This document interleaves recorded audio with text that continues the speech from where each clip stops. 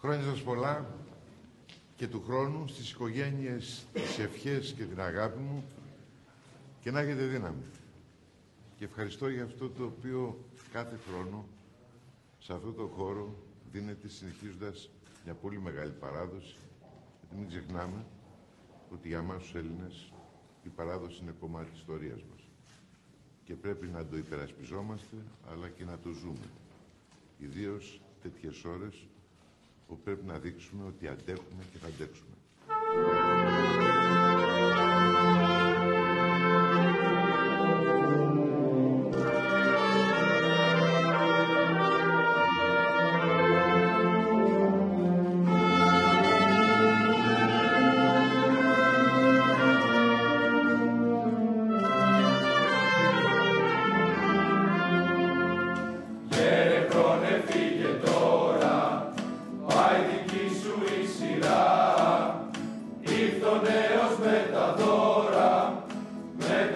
Yeah.